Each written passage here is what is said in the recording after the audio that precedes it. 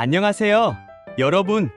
오늘은 애플워치 10주년 최신 출시 정보에 대해 함께 알아보려고 합니다. 이번에는 애플의 첫 번째 웨어러블 기기 출시 10주년을 맞아 대대적인 업그레이드가 예상되고 있어요. 그럼 바로 내용을 살펴보겠습니다. 애플워치 10은 2024년에 예정된 출시로 대대적인 재설계와 혁신적인 기능 업그레이드가 예상되고 있습니다. 디자인과 기능 측면에서의 다양한 변화가 기대되며 혈압 모니터링 및 고혈압 감지 기능 등 새로운 건강 모니터링 기능도 추가될 예정입니다. 이번 애플워치는 케이스를 더 얇게 만들고 밴드 결합 방식을 마그네틱 방식으로 변경하여 더 슬림하고 편안한 착용감을 제공할 것으로 예상되고 있습니다. 또한 디스플레이 역시 2.1인치 마이크로 LED로 업그레이드되어 더욱 선명하고 생동감 있는 화면을 제공할 것으로 예상됩니다. 혈압 모니터링 및 고혈압 감지 기능은 사용자의 건강 상태를 실시간으로 모니터링하고 의료 진단에 유용한 정보를 제공할 것으로 기대됩니다. 또한 수면 무호흡증 감지 기능은 사용자의 수면 패턴을 모니터링하여 잠재적인 건강 문제를 식별하는 데 도움을 줄 것으로 예상됩니다.